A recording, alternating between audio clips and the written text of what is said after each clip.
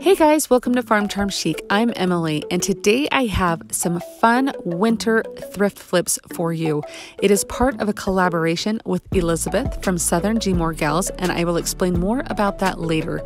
But if you have not had a chance to subscribe to my channel, I would love if you would consider doing so. And if you do like what you see in this video, I would really like it if you would give this video a thumbs up. But let's get started with some thrift flips. So I found this cute little metal bucket or planter at my thrift store. It had a regular price of $20 on it, but it had been marked down to $2. And then this cute little snowman that says the word snow beneath him. I'm not going to use any of the letters for this project. I'll hang on to them for another project, but I'm going to use that darling little snowman for sure. So I'm just taking some white paint in a chip brush and I am just going to dry brush all over this little pot. I feel, and it's metal, so I'm not really sure if it's like a pot or a basket container let's call it a container. So I'm just going to brush all over this and that detail and design is just going to pop because it will stay that darker color. And I really love how this looks and I really feel like this is something I could use all year long, not necessarily just for winter. How you dress it up with what floral arrangement you put in it is going to determine what season it will be best for.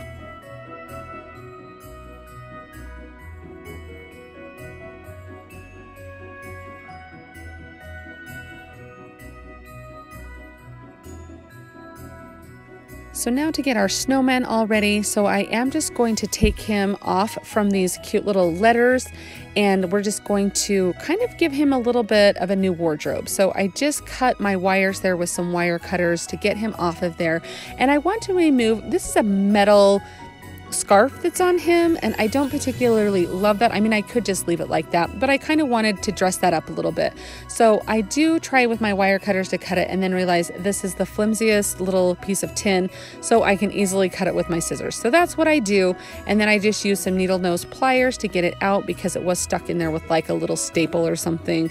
And so now we kind of have a little naked snowman, but I'm going to cut the hanging tag off of him because we are not going to need to hang him anymore. And after I take that off, I just use my sander to make sure that any sharp edges that would be left from the metal are completely gone. So I just take some buffalo check ribbon that I had and I am going to tie that onto him for his scarf. That matches my decor. This is where you could totally customize it to be whatever you would like. And I just tie it in a knot and then I am going to dovetail the ends of each side of the scarf.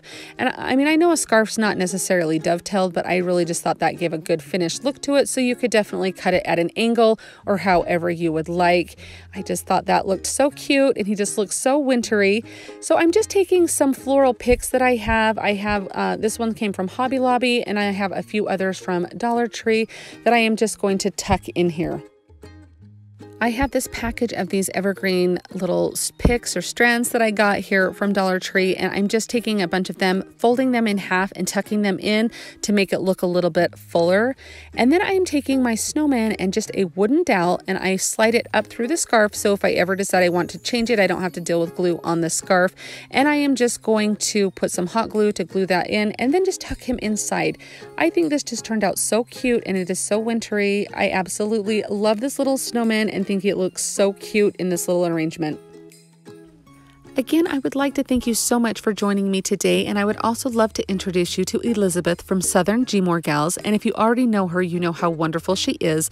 But if this is your first time being introduced to her, I will put a link to her channel down in my description box. Elizabeth does some of the most amazing thrift flips. You are absolutely going to love them. She also has a video today with some winter thrift flip ideas for you. So the link to that video will also be down in the description box. Here's just a look at some of the thrift flips that she has done. She is so talented, you guys. I know you're going to love her. When you do go over and watch her video, make sure you give her a thumbs up, subscribe while you're there, and let her know that Emily from Farm Charm Chic sent you.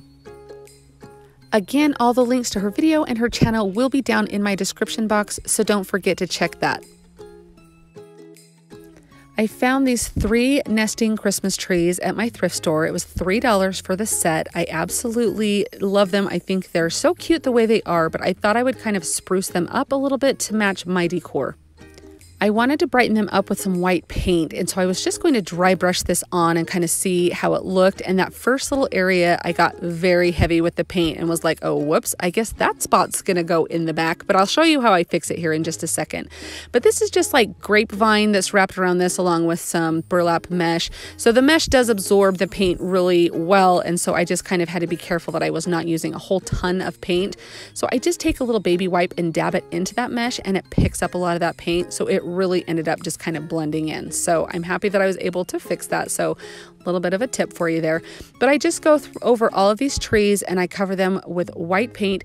I had originally wanted to spray paint these. However, it, it was way too cold at my house to spray paint them. And I honestly think that might have been a little bit too heavy for what I wanted. I might not have gotten the same effect. So I'm actually really happy.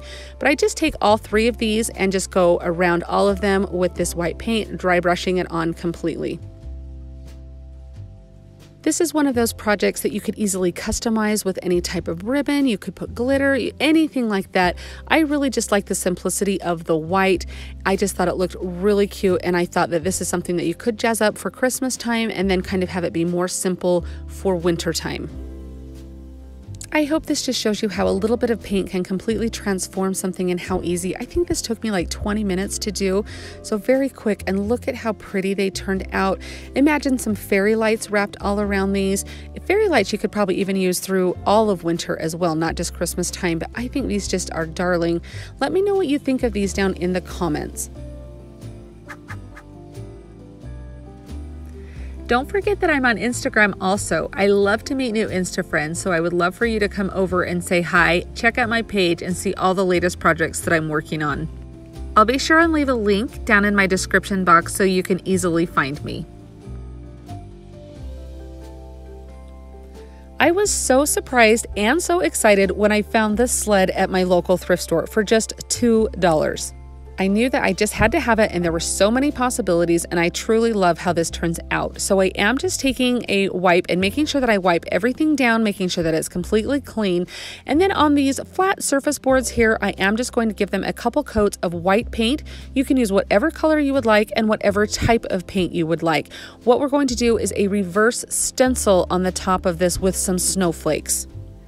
Now I only did these three boards in the white because those were the only areas that my stencil was going to go. However, once I go to distress this, I had wished that I had done the crossbar in some white paint. I do have a solution for that, but I'm just letting you know ahead of time that I wish I had painted that. That way when I distressed it, that white would peek through.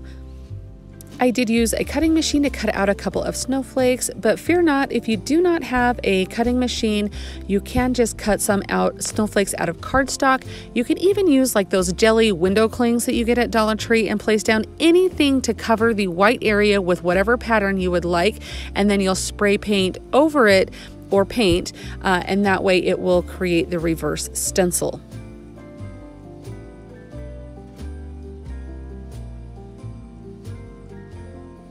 I do take this outside to my little box spray paint studio, whatever you'd like to call it, and I just give this a really good coat. I just have to go over it once with some matte black spray paint. Now, of course, you can customize this to be whatever colors you would like. I am trying to make this more wintry than Christmassy because I do want to leave this up all the way through February if possible. So I'm just making sure that that area all over where those snowflake stencils are completely gets covered. And then after that first top layer dries, I'm going to lift it up and paint the bottom of it. I want to make sure that the complete rest of the area on this sleigh is painted black. So you can do this by hand and not have to do spray paint if you would like. That is completely optional. The next step is to bring it inside, let the paint, we'll let it dry before you bring it inside. But then we're going to take the stencil off, our little snowflake to reveal our reverse stencil.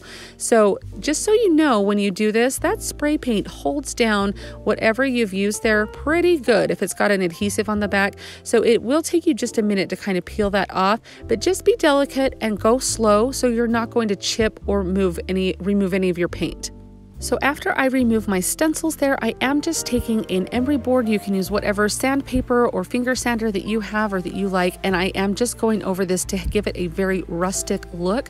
What happens is it takes the little bit of layer of the black paint and it makes that white paint come shine through there. And I love how that looks. And this is where I said I had wished that I had done the crossbar in the paint so that way the white paint would show through on that. But I do just take a little, and by little I mean the littlest amount of white paint on a chip brush and kind of very lightly dry brush so it does look like it has a little bit of white there as well.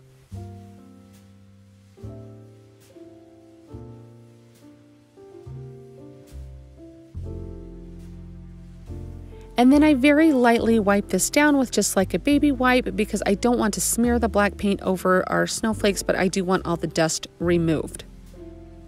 Now I just take some rope from Dollar Tree and I unravel it and take one of the strands and get some painter's tape on the end of it and make sure it is tight and as small as I can get it because I'm going to feed it through that little hole that was provided and then turn it around and flip it through the other side so that creates our little rope tie there.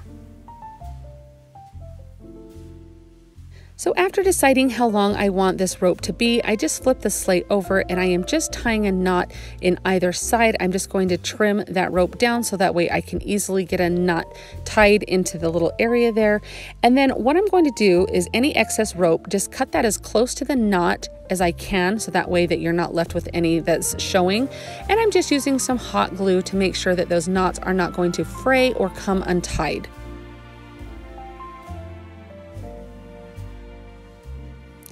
Now to get the kink out of this rope, since it's kind of curly from being wound up in rope, I'm just spraying it with some water and then I hang it from like a door handle for like an hour or something and it really straightens that rope out. So the longer you hang it, the straighter it will be.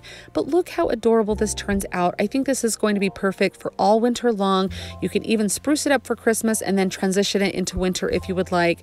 I just absolutely love this.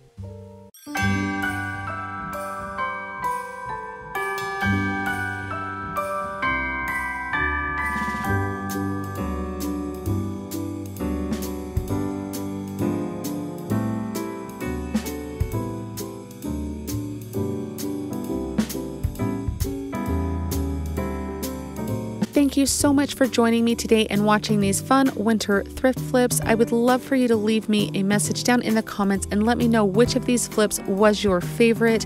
Again, I will leave a link to Elizabeth's channel, Southern Gmore Gals, down in my description box, as well as a link to her video for today so you can go see her winter thrift flips that she did. As always, I would like to remind you to be safe, be smart, be nice, be happy, choose to have a good day because you are amazing. Thanks so much, guys. We'll see you next time. Happy holidays! If you enjoyed the video that you just saw, here's another one that you might enjoy. And as always, remember to like and subscribe. Thanks so much for watching and have an amazing day.